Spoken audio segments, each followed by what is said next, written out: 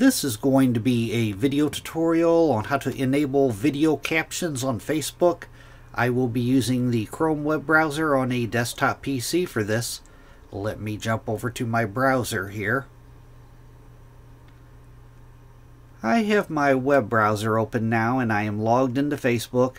To turn on video captions on Facebook, it's very easy to do. First thing you want to do is go up to the upper right hand corner up to where you see your little profile icon. You want to click on that. Then you want to go down to where it says Settings and Privacy and click on Settings and Privacy.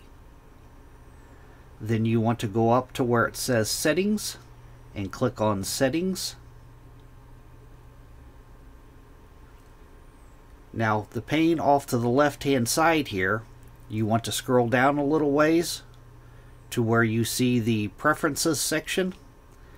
And right down here is media. You want to click on media. And then in the center pane right in here always show captions. It says if turned on captions will always be displayed for any videos that have them that means if the video has video captions it will show them you want to toggle this on right here